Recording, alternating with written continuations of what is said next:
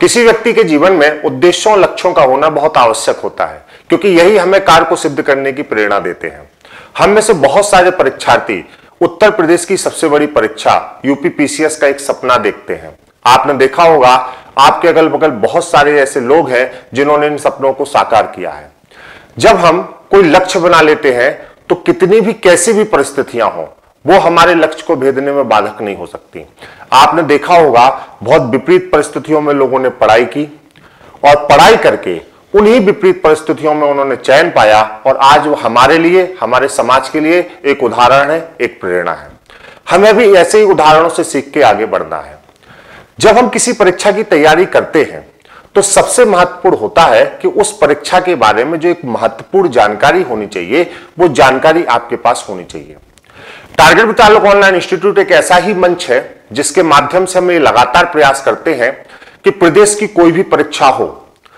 जितनी ज़रूरी जानकारी परीक्षार्थी के पास पहुंचनी चाहिए, जितना मटेरियल परीक्षार्थी के पास पहुँचना चाहिए, वह निश्चित रूप से आपके पास पहुँचे, चाहे आप कितने भी दूर दराज के क्षेत्रों में क्यों ना रह रहे हो। हम आपको शिक्षा और समाज की मुख्यधारा से जोड़ने का पूरा प्रयास करते हैं, भले ही परिस्थितियाँ कितनी भी विपरीत क्यों ना हो। ऐसा ही एक प्रयास लेके आज मैं आपके समक्ष उपस्थित हूँ।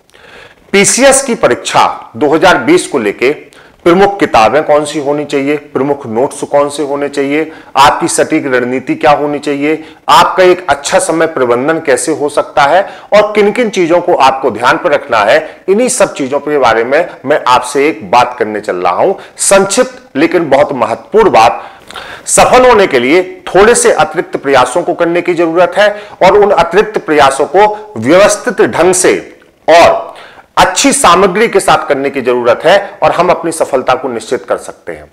आइए ऐसी कुछ बातों पर हम लोग चर्चा करते हैं। आज अगर हम देखें तो बाज़ार में इतनी सारा पाठ्य सामग्री उपलब्ध है कि जब हम बाज़ार जाते हैं तो हम कंफ्यूज हो जाते हैं। यदि हम अपने सीनियर्स से राय लेते हैं या हम अपने टीचर से राय लेते हैं तो प्रत्येक व्यक्ति अपनी कैपेबिलिटी के हिसाब से या उस अपनी पसंद के हिसाब से आपको अलग अलग पाठ्य पुस्तकें बताता है या अलग अलग नोट्स आपको सजेस्ट करता है। और आप देखते हैं कि खरीदते खरीदते कमरे पर और हमारी मेज पर, पढ़ने वाली मेज पर इतनी ज़्यादा पाठ्य पुस्तकें हो जाती हैं कि वो हमारे अंदर भ्रम पैदा करने लगती हैं कि क्या हम सही दिशा में जा रहे हैं, क्या हमने अपनी पाठ्य सामग्री का चुनाव सही किया है कि नहीं किया है। इसी महत्वपूर्ण बिंदु पर आज मैं बात करने वाला हूँ कि हमारे पास कितनी सीमित सामग्री हो, पाठ्य सामग्री हो, कि हम चयन के नज़दीक पहुँच सके और हमें अतिरिक्त पढ़ने की कोई भी आवश्यकता ना पड़े। आइए शुरुआत करते हैं सबसे पहले प्रमुख पुस्तकों से। प्रारंभिक मुक्त परीक्षा के लिए जो भी आपकी महत्वपूर्ण पुस्तकें होनी चाहिए, उन सब की एक मैं सूची आज आपको प्रदान करता हूँ। और इन पुस्तकों के अलावा बहुत सारे लोगों को देखा गया है कि वो शुरू से सारी एनसीईआरटी पढ़ते हैं। तो मैं आपको यह भी बताऊँगा कि एनसीईआरटी में आपको किस किस विषय में कौन कौन सी एनसीईआरटी पढ़ने की ज़रूरत है। सबसे पहले यदि हम लोग पुस्तकों से शुरुआत करें तो देखिए यहाँ पे लिखा हुआ है इतिहास विषय। इतिहास विषय को लेकर यदि हम शुरुआत करें तो प्राचीन इतिहास के लिए रामशरण शर्मा की किताब आप ले सकते हैं।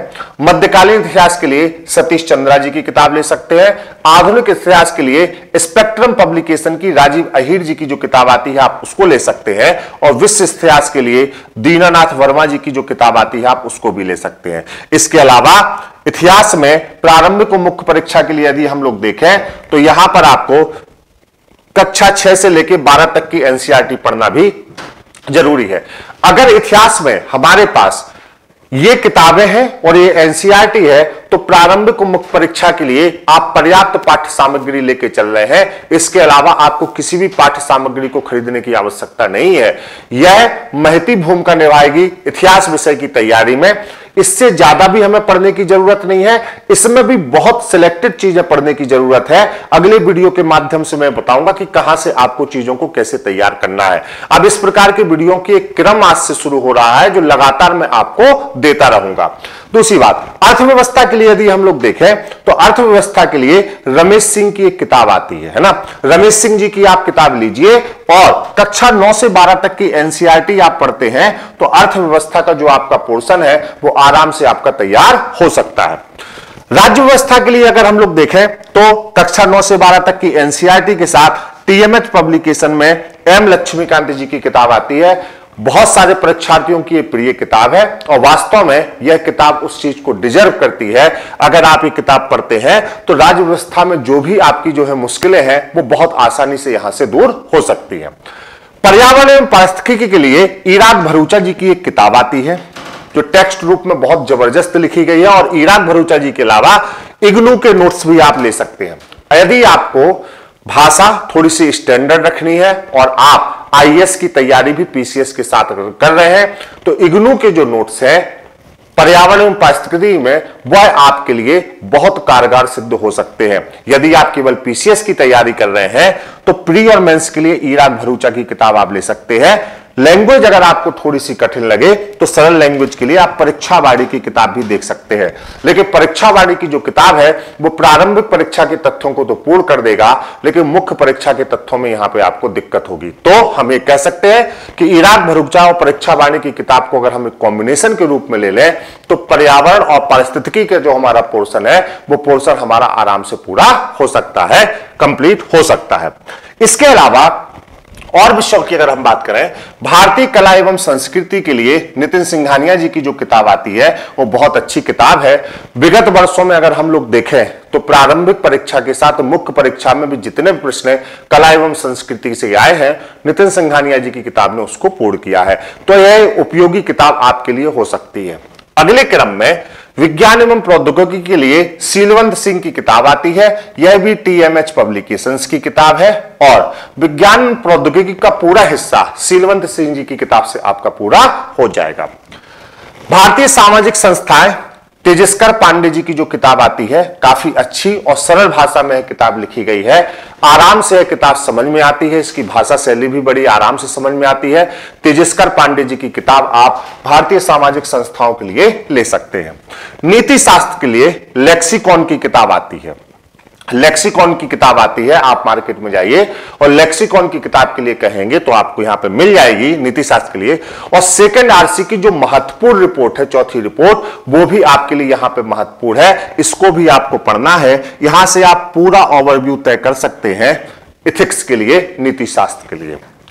उत्तर प्रदेश विशेष और भारतीय जनसंख्या एवं नगरीकरण प्रारंभिक परीक्षा के लिए एक महत्वपूर्ण पोर्शन आपके होते हैं। मुख्य परीक्षा में भी यहाँ से कुछ प्रश्न आपको मिलेंगे, है ना? या कुछ आंकड़े ऐसे होंगे जिनको आपको लिखना पड़ेगा मुख्य परीक्षा में। तो वहाँ पर आप उत्तर प्रदेश विशेष घटना चक्र से पूरा कर सकते हैं। अरेंजमेंट तथ्यों का बहुत अच्छे से किया गया है और भारतीय जनसंख्या एवं नगरीकरण की जो जानकारी है, वो परीक्षा माणी की किताब से आप यहाँ पे पूरा कर सकते हैं। सरल भाषा में बहुत बेहतरीन तरीके से लिखी गई ये पुस्तक है। आंतरिक सुरक्षा के लिए आप यहाँ पे अशोक कुमार सिंह और विपुल जी की किताब को ले सकते हैं। यह पुस्तक आपकी बहुत अच्छी है इंटरनल सिक्योरिटी के मैटर के लिए।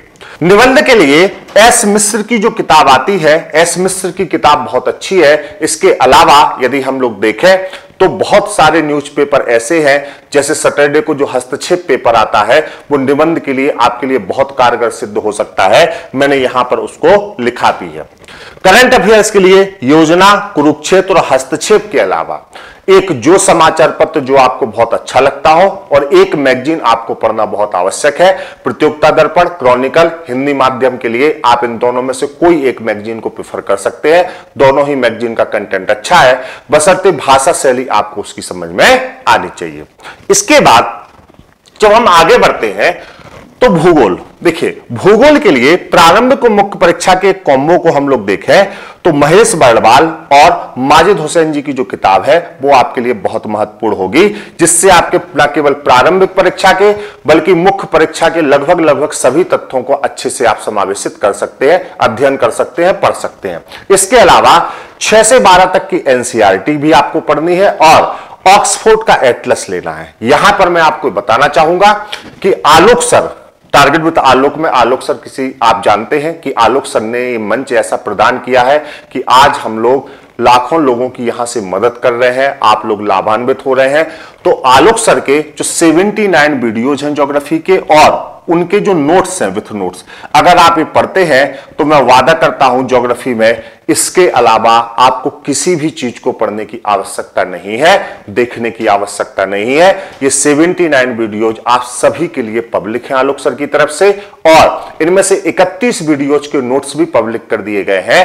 बाकी वीडियोज़ के नोट्स धीरे धीरे पब्लिक किए जा रहे हैं। तो भूगोल में जो आपको पूरी तैयारी करनी है उस पूरी तैयारी के लिए ये 79 वीडियोज़ और आलोक सर के जो नोट्स हैं, ये आपके लिए बहुत महत्वपूर्ण और कारगर सिद्ध होंगे। इसके अलावा पुस्तकों पर मैंने यहाँ पर चर्चा आपसे की है। पीसीएस प्रारंभिक एवं मुख्य परीक्षा के विगत प्रश्नों के सामान्य अध्ययन के सॉल्व पेपर जो है, वो भी यहाँ पर आपको लेने हैं, जो आपके प्रारंभिक और मुख्य परीक्षा दोनों के लिए कारगर सिद्ध होंगे। और प्रारंभिक परीक्षा में जो मुख्य परीक्षा पहले जो आपकी ऑब्जेक्टिव होती थी, उनके जो प्रश्न होते हैं, वो प्रारंभिक परीक्षा में बहुत सारे ऑब्जेक्टिव प्रश्न को करने के लिए सहायक सिद्ध होते हैं और वे आपके एनालिटिकल अप्रोच को पढ़ाते हैं। जब पाठ्यक्रम परिवर्तित नहीं हुआ था तो हम प्रारंभिक और मुख्य परीक्षा की जब तैयारी करते थे तो यह दोनों ही परीक्षाएँ पीसीएस की काफ़ी समानताएँ लिए हुई थी। यदि हम प्रारंभिक परीक्षा का पेपर देखें तो वहाँ पर सामान्य अध्ययन के जो आपके पेपर होते थे, वह बहुविकल्पीय प्रवृत्ति के होते थे। मुख्य परीक्षा में भी दो पेपर होते थे सामान्य अध्ययन के वो भी बहुविकल्पीय प्रवृत्ति के होते थे, लेकिन मुख्य परीक्षा का लेवल ऑफ़ डिफिकल्टी थोड़ा सा अधिक होता था। तैयारी में हमें दिक्कत नहीं होती थी, क्योंकि एक ही प्रकृति के दोनों ही पेपर की तैयारी हमें करनी होती थी। बदले हुए पाठ्यक्रम में यदि हम ये कोशिश करते हैं कि प्रारंभिक और मुख्य परीक्षा की तैयारियाँ हम अलग अलग करें तो निश्चित रूप से हम यहाँ पर गलती कर रहे हैं। क्योंकि यदि हम लोग देखें, इतिहास, भूगोल, विज्ञान, भारतीय संविधान एवं राज्य व्यवस्था और अर्थव्यवस्था, यहाँ पर वर्तमान जो पाठ्यक्रम है, इस पाठ्यक्रम में हमने ये सोचा कि प्रारंभिक मुख्य परीक्षा अलग अलग है तो हम एक महती बहुत बड़ी गलती कर रहे हैं। क्योंकि तथ्यों का समावेश है। और आपका पाठ्यक्रम ऐसा है कि अब आपको प्रारंभिक और मुख्य परीक्षा की तैयारी एक साथ ही करनी होगी, क्योंकि ये दोनों ही परीक्षाएँ अब एक दूसरे की संपूरक हैं। क्योंकि यहाँ पर अब कोई शॉर्टकट नहीं रह गया है, बल्कि मुख्य परीक्षा आपको पूरी लिखित माध्यम से चार प्रश्न पत्रों के माध्यम से देनी है। तो यहाँ पर प्रारंभिक परीक्षा के साथ ही हमारी मुख्य परीक्षा की तैयारी हमें करनी पड़ेगी। तभी पाठ्यक्रम का एक जो संपूर्ण ओवरव्यू है, वो हमें समझ में आएगा और हम बेहतर कर सकते हैं। आप में से बहुत सारे लोग ऐसी गलती करते हैं, मैंने देखा है कि सर हम पहले प्री तो तैयार करें, फिर मेंस तैयार करें। अगर आप ये प्रयास कर रहे हैं तो प्रारंभ से ही प्रयास आपका गलत है। आप प्री कम मेंस दोनों ही तैयार करिए, ये आपके लिए महती ज़रूरी है। क्योंकि प्री निकालकर आपको किसी को दिखाना नहीं है कि हमने प्री पास किया, बल्कि आपका उद्देश्य यह होना चाहिए कि जो लक्ष्य हमने साधा है, उस लक्ष्य को हम पूरा प्राप्त करें। तो उसमें प्री भी है मेंस भी है और साक्षात्कार भी है। तीनों की ही तैयारी आपको करनी है। लिखित परीक्षा के लिए अगर हम लोग देखें तो प्री और मेंस की तैयारी का एक साथ होना बहुत ज़रूरी है, बदले हुए पाठ्यक्रम पर। दूसरी बात, अध्ययन में निरंतरता होना अनिवार्य है। देखिए, अध्ययन में निरंतरता से हमारा आशय है कि बहुत सारे सदस्य आप में से ऐसे होंगे जो इससे पहले कहीं कोचिंग कर चुके हैं। या उन्होंने एक दो बार प्रयास किया है, या वो मुख्य परीक्षा अपनी दे चुके हैं, या एक आध दो बार प्रारंभिक परीक्षा दे चुके हैं। अब उनके अंदर एक भावना आ गई कि नहीं, हमें तैयार है। ये जो भावना हमारे अंदर होती है कि हमें चीज़ें तैयार हैं, ये आपका नुकसान करती है। अध्ययन में एक निरंतरता का होना बहुत ज़रूरी है, क्योंकि मेंस के पाठ्यक्रम में बहुत सारी चीज़ें आपकी करंट से अपडेट होती है। अगर हम पूरे मेंस को उठा के देखें तो 50 परसेंट के आसपास का पाठ्यक्रम ऐसा है, जो लगभग लगभग विषयों में आपका करंट से अपडेट होता है। तो अध्ययन में निरंतरता होनी बहुत ज़रूरी है। आप किसी न किसी ऐसे माध्यम से ज़रूर जुड़े रहे, जो निरंतर हो, और एक कंटिन्यूटी में आपको अपडेट करता रहे, आपके पाठ्यक्रम को अपडेट करता रहे भले ही आपने कितने ही अच्छे से पढ़ाई क्यों ना की हो। एग्ज़ाम रूम का प्रेशर ऐसा होता है कि आप सरलतम चीज़ों में गलती करते हैं। आप देखते हैं कि जो किसी ने गलत नहीं किया, वो आपसे गलत हो गया। ये ह्यूमन एरर्स होती हैं। हम जब किसी चीज़ को टेक फॉर ग्रांटेड लेते हैं तो निश्चित हम उस रूप में गलती करते हैं, उस बात में गलती करते हैं। तो पढ़ाई लिखाई में जब तक आपका चयन नहीं हुआ एक एक तथ्य आपके लिए महत्वपूर्ण है, चाहे वो आपने कितनी भी बार पढ़ा हो, लेकिन आपको उसका अध्ययन करना है, उसकी प्रैक्टिस करनी है, और निरंतरता के साथ उससे जुड़ा रहना बहुत ज़रूरी है, क्योंकि वो तथ्य निश्चित रूप से आपके काम आएगा। तीसरी बात समय प्रबंधन पे जब हम बात करते हैं टाइम मैनेजमेंट आपका कैसा हो तो आप में से बहुत सारे लोग क्या करते हैं कि समय प्रबंधन को घंटे के हिसाब से बनाते हैं। हम दिन में आज 12 घंटे तैयारी करेंगे, है ना? घंटे के हिसाब से लेबर किया जाता है। मजदूरी किया जाता है। घंटे के हिसाब से जब समय प्रबंधन आप करते हैं अपनी पढ़ाई का तो यह बहुत उबन वाला होता है, कभी भी आपको ऐसा नहीं करना चाहिए। बल्कि आपके अध्ययन का जो समय प्रबंधन होना चाहिए, वो अध्ययन का समय प्रबंधन हमेशा आपका कंटेंट के हिसाब से होना चाहिए कि आज हमें इतने कंटेंट को तैयार करना है।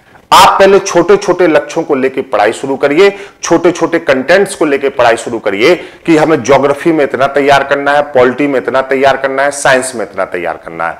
हो सकता है कि जब आप टारगेट ओरिएंटेड पढ़ाई करेंगे तो आपने अगर तीन अध्ययन के विषय बिंदु बनाए हैं आज के लिए तो हो सकता है आप उसको तीन घंटे में ही पूरा कर लें। जब हम घंटे के हिसाब से पढ़ाई करते हैं तो वो हमारे ऊपर एक अतिरिक्त दबाव देता है। अच्छे परीक्षार्थी जो भी होते हैं, कभी भी उनकी पढ़ाई लिखाई का जो लेखा जोखा है, वो घंटों में नहीं होना चाहिए, बल्कि कंटेंट के हिसाब से होना चाहिए कि आज के दिन हमें इतना कंटेंट पूरा करना है। धीरे धीरे आप कंटेंट को पढ़ने की क्षमता को बढ़ाइए कम घंटों में भी आप ज़्यादा पढ़ाई कर सकते हैं कंटेंट के हिसाब से। अगर हमने सुबह से तय कर लिया कि आज हमें 12 घंटे पढ़ना है तो ये जो 12 घंटे का जो मनोवैज्ञानिक दबाव हमारे ऊपर होता है, वो हमारे कंटेंट को तैयार करने में बाधा पहुंचाता है। तो एक बार ये करके देखिए कि जो आपकी परीक्षा की तैयारी है, जो परीक्षा की प्रणाली है, उसको कंटेंट के हिसाब से पूरा करें छोटे छोटे क्रक्स में बांटे और वहाँ पर उसको पढ़ें। निश्चित रूप से मैं बता रहा हूँ, इससे आपको आपको ना केवल फ़ायदा होगा बल्कि कंटेंट के रूप में आप ज़्यादा तैयार कर पाएँगे और ज़्यादा अच्छे से कर पाएँगे। देखिए, सटीक विश्लेषण के साथ लेखन शैली का होना आवश्यक है। जैसे जब भी हम मुख्य परीक्षा के प्रश्नों को लिखेंगे, जो आप शुरू से तैयार करने हैं तो शुरू से ही कोशिश करिए कि जो तथ्यात्मक रूप से आप चीज़ें पढ़ रहे हैं, उसको एक पैराग्राफ में लिखने की कोशिश करें। है ना? एक पैराग्राफ में हम कैसे इन चीज़ों को लिख सकते हैं? क्योंकि एनालिटिकल पावर और विश्लेषण जो आपका है, वो बहुत ज़रूरी है अब मुख्य परीक्षा को पास करने के लिए। पहले प्रारंभिक परीक्षा में जब प्रश्न आते थे तो आप देखते थे 30 से 40 प्रश्न रिपीट हो जाते हैं। है ना? अब रिपीटेशन नहीं होता। पैटर्न बदल गया है। तो प्रश्नों के जो बार बार आने की बारंबारता होती है, उत्तर प्रदेश में बहुत सारे लोग ऐसे तैयारी करते हैं कि वो घटना चक्र ओरिएंटेड होते हैं, है ना? पूर्वावलोकन पढ़ लिया, हम पास हो जाएँगे। गलत प्रवृत्ति है आपकी, है ना? क्योंकि प्रश्नों के में जो रिपीटेशन की प्रवृत्ति थी, जो आपको मिल जाते थे, वो लगभग लगभग समाप्त है। अब प्रश्नों का स्टैंडर्ड भी अच्छा हो गया है। मुख्य परीक्षा को देखते हुए प्रारंभिक परीक्षा के प्रश्न भी वैसे ही बनाए जा रहे हैं, जो अवधारणा को लिए हुए ज़्यादा है। तो तथ्यात्मक और अवधारणात्मक दोनों ही ज्ञान का समावेश अगर अच्छे से आपके अंदर होगा तो आप इन प्रश्नों को बेहतर तरीके से हल कर पाएँगे। तो प्रैक्टिस के रूप में तो आप उन प्रश्नों को चुन सकते हैं, लेकिन पहले जैसे हम इन प्रश्नों पर डिपेंड नहीं हो सकते, क्योंकि ऐसा आवश्यक नहीं है कि प्रश्न आपके रिपीट हो, है ना? तो नए प्रश्न उस पाठ्यक्रम से कैसे बन सकते हैं, जो आप पढ़ रहे हैं, उस अध्याय से नए प्रश्न कैसे निकल सकते हैं सोचने की शक्ति को थोड़ा सा बढ़ाना है और उन प्रश्नों को वहाँ से निकालना है। ऐसे जब हम पढ़ाई करेंगे तो हम प्रारंभिक परीक्षा के ज़्यादा से ज़्यादा प्रश्नों को क्या कर पाएँगे? हल कर पाएँगे और समझ पाएँगे। आठ माह अगर अभी से जोड़े, अगर आपने 2020 टारगेट किया है तो आठ माह है। आज से करो या मरो की स्थिति है। मैं प्रारंभिक और मुख्य परीक्षा दोनों के समय को जोड़ के बता रहा हूँ। और आठ माह पर्याप्त। अगर आप सटीक तरीके से पढ़ते हैं, सटीक विश्लेषण के साथ पढ़ते हैं, एक पाठ सामग्री के साथ पढ़ते हैं तो आठ माह आपके लिए पर्याप्त है। मैं एक और बात बताता हूँ आपको। अगर आप दूर दराज के क्षेत्र में हैं और पढ़ने लिखने में कोई आपको समस्या आ रही है तो निश्चित रूप से मेरे द्वारा, आलोक सर के द्वारा और बहुत सारे अध्यापकों के द्वारा आपको कुछ ऐसे वीडियो प्रदान किए जाएँगे जो आप सभी लोगों के लिए ज़रूरी है। अगर आप घर बैठ के पढ़ाई करना चाहते हैं तो संस्थान पूरी तरीके से आपके साथ है। हम लगातार ऐसी कोशिश करेंगे कि कोई भी इस मुख्य धारा से अछूता ना रह जाए और हम आप सभी तक पहुँच सकें। आप कहीं भी हो, टारगेट तालुक ऑनलाइन इंस्टीट्यूट पूरी तरह से प्रयास कर रहा है कि हम धीरे धीरे आप सभी तक पहुँचे। इतनी सारी किताबें अगर आपको नहीं पढ़नी है, अगर आप सोच रहे हैं कि सर आपने इतनी सारी किताबों की लिस्ट दी। देखिए, ये लिस्ट मैंने इसलिए दी क्योंकि आपके कंफ्यूजन से बचने के लिए मैंने ये लिस्ट दी। आप कुछ भी मार्केट से ना उठाएँ। आप किसी भी सामग्री को मार्केट से ना लें, है ना? इसलिए मैंने एक बुक की, किताब की सूची दी। मैं जब किसी भी बैच में पढ़ाने जाता था तो लगातार आप लोग कहते रहते थे, सर यूपी पीसीएस के लिए कुछ बता दीजिए। यूपी पीसीएस के लिए कुछ किताबें बता दीजिए। आप यहाँ फिजिकली प्रेजेंट नहीं है। हम दूर, दूरस्थ माध्यम से कुछ प्रमुख किताबों को आपको बता सकते हैं। इसके बावजूद, अगर आपको तैयारी करने में कोई दिक्कत आ रही है तो दिल्ली के जो सबसे अच्छे मेंटर्स हैं, हमने उनको इस मंच पर लाकर खड़ा किया है। हमने उनको इकट्ठा किया है, हमने उनसे अनुरोध किया है, और उन्होंने हमारे इस अनुरोध को स्वीकार किया है। हम न्यूनतम फ़ीस में आपको दोनों ही तरह के बैच दे रहे हैं। हम ये नहीं कह रहे हैं कि प्रवेश लेना आपके लिए आवश्यक है। आप प्रवेश बिल्कुल मत लीजिए। यदि आप स्वयं से पढ़ना चाहते हैं तो वीडियो के अभी तक के हिस्से में मैंने आपको यही बताया है कि आप स्वयं से कैसे तैयारी करते हैं। और आगे भी ऐसे कई वीडियोज़ हम देंगे आपको, जिससे आप तय कर सके कि हाँ तैयारी की जा सकती है। लेकिन आपके मन में थोड़ा सा भी डाउट है कि सर, ये 22-25 किताबों में से कैसे मैटर को पढ़ना है, कैसे सामग्री को निकालना है, कैसे हम चीज़ों को पूरा करें तब आप बिल्कुल भी परेशान मत होइए। आपको दिल्ली और इलाहाबाद आके डेढ़ लाख रुपए एक बैच के लिए खर्च करने की ज़रूरत नहीं है।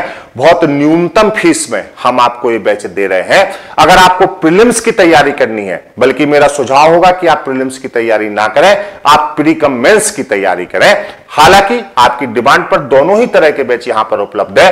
अगर आप प्रीलिम्स की तैयारी करना चाहते हैं तो आप इस नंबर पर व्हाट्सएप एंट्री लिखकर भेज दें और अगर आप प्री कम मेंस की तैयारी करना चाहते हैं तो इस नंबर पर व्हाट्सएप एंट्री लिखकर भेज दें, है ना? व्हाट्सएप पर एंट्री लिखकर भेज दें। क्लासरूम प्रोग्राम इतना शानदार चल रहा है।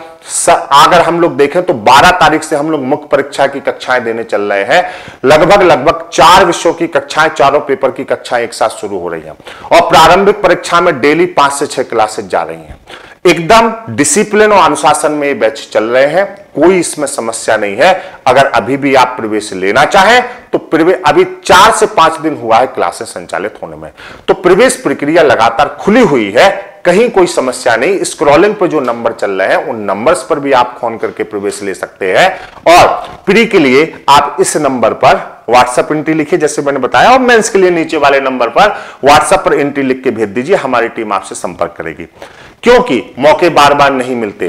ढेर सारी वैकेंसी है। अगर आपने सपना देखा है तो निश्चित रूप से target with Alok online institute आपके साथ है इस सपने को साकार करने के लिए। अगर आप स्वयं से कर सकते हैं, बिना कोचिंग के करना चाहते हैं तो भी target with Alok online institute आपके साथ है। मैं वादा करता हूँ, कोई भी कसर नहीं छोड़ूँगा।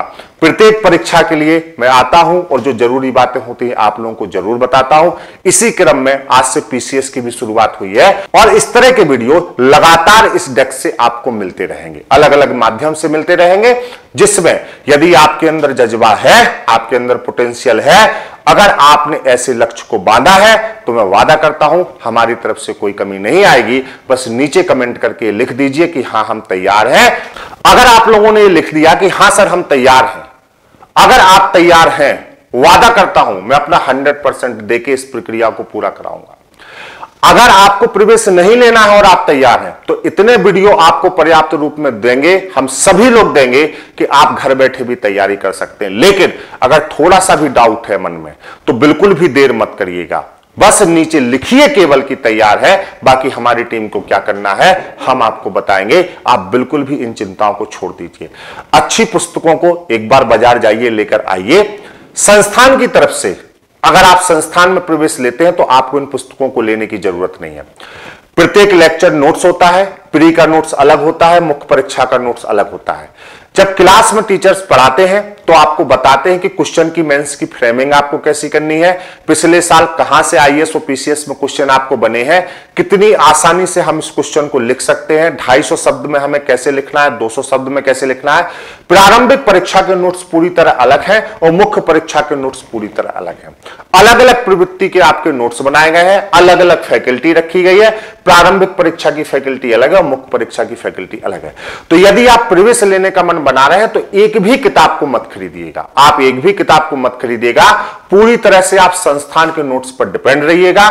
हमारी स्वयं की देखरेख में, आलोक सर, मैं, हम सभी लोगों की देखरेख में विषय विशेषज्ञों की देखरेख में ये नोट्स तैयार हो रहे हैं और शत प्रतिशत ऐसे नोट्स तैयार हो रहे हैं कि यूपी पीसीएस का प्रारंभिक और मुख्य परीक्षा का एक भी प्रश्न बाहर नहीं होगा या एक भी अवधारणा ऐसी नहीं होगी जिसको आप कवर ना कर सके।